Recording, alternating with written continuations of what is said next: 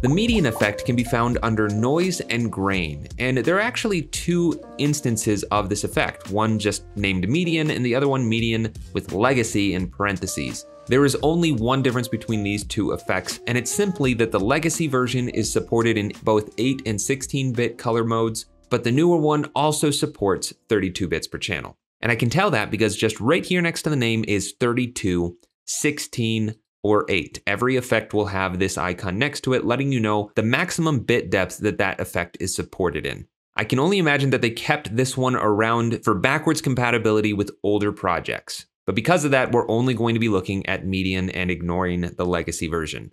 All right, so I'm gonna drag this out onto this photo of a meadow, and we only have two controls, a radius and then a checkbox. So what this effect does is basically looks at every single pixel of the image and then averages out that pixel's values with the surrounding pixels. So let me turn up this radius value to show you what I mean. As I increase this, it very quickly gets kind of washed out and muddy. We lose a lot of the detail. And as a result, we're getting larger blocks of similar colors.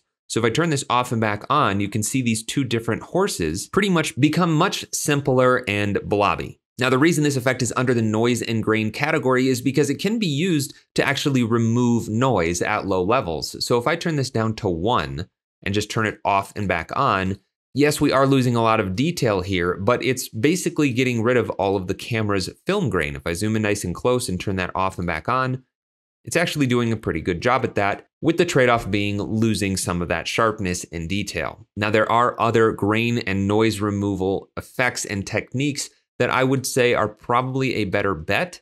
And whenever this effect shows up in my workflow, it's usually for a stylistic reason. So if I just bump this up to two or three, we get something that looks a whole lot more like a paint by numbers almost. And I could really crank this up to maybe four or five and combine that with maybe a vibrance effect, bring that out and just increase the vibrance so that we have much more saturated colors. And I could even add on top of that a brush strokes effect.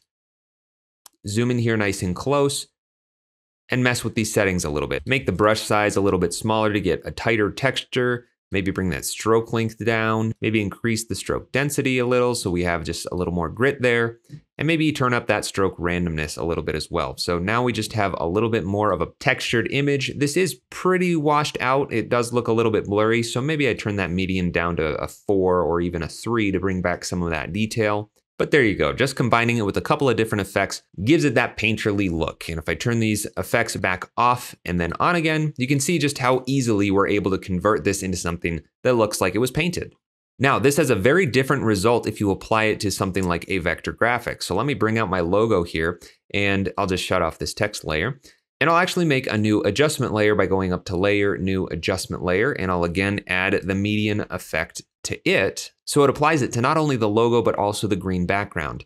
If I increase this just one step at a time, not much changes. It's nowhere near as drastic because everything is just solid flat colors. And remember, the way that this is working is by looking at every single pixel and then evaluating the pixels around it based on this radius. So currently it's looking at a radius of 10 pixels and finding out what the average colors are. So where we're gonna notice something that this effect is doing is where two colors meet. If I turn this off and back on, you can see what it's doing between the dark green and the yellow colors of my logo. It's really smoothing them out and even rounding the corners. And this is actually a really interesting use of this effect. Keep in mind, this is also taking into account the background. So really what's happening here is that it's averaging all of these colors and finding that there's more of this mid-tone background green than the dark green or the yellow, and it's just expanding that color into the other colors.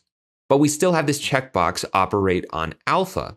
So if I actually turn this adjustment layer off and apply median to my logo, which has an alpha channel, if I solo it, we can see through to the background, and turn this up, I'm gonna get some weird black colors bleeding into my logo. But if I choose operate on alpha, that black is going to turn into transparency. So if I dial this back down to a lower number, it's not quite as extreme, but it's basically rounding out all of the sharp edges and it is bleeding some of the colors into each other as well. So for my logo, which has a lot of round shapes on it and some overlapping colors, it's not really doing me all that good.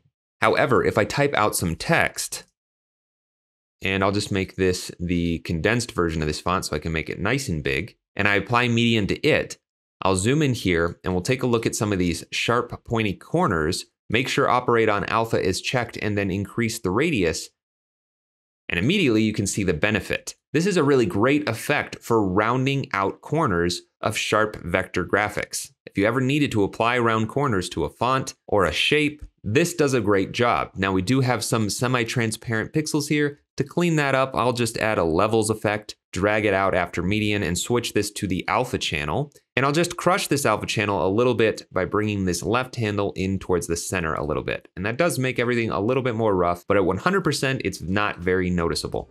So there's a couple examples of how you might use the median effect. Hey, thanks for watching. If you enjoyed this tutorial, then check out the other ones here on my YouTube channel. And if you like my teaching style, then definitely check out my longer form content on Skillshare and School of Motion. And if you want to support more tutorials like this one, check out my Patreon. You can find links for all that stuff in the description of this video.